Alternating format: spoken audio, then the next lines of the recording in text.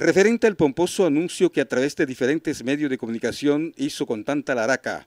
el representante AP Cuello sobre la puesta en funcionamiento de una ruta aérea Huachica-Bogotá que realizaría Satena en menos de un mes y donde personalmente el senador Antonio Sanguíneo hizo algunas salvedades teniendo en cuenta que el aeropuerto Acaritama no cuenta con torre de control dotada de equipos controladores, no cuenta con cuerpo de bomberos, tampoco cuenta con oficinas, sala de espera, agua potable, enrutadores de pista, ni suministro de combustible para aviones y de los 1.600 metros de pista solo le construyeron 1.200. ¿Qué pasaría con las 400 restantes? Se pregunta el senador. Pues bien, la Aeronáutica Civil respondió derecho de petición sobre la puesta en funcionamiento de vuelos comerciales a Huachica, Bogotá, que operaría Satena y manifiesta que no hay solicitud y explica las condiciones en que se encuentra la terminal. De manera pues, de manera pues que está en veremos la puesta en marcha del aeropuerto de Aguachica.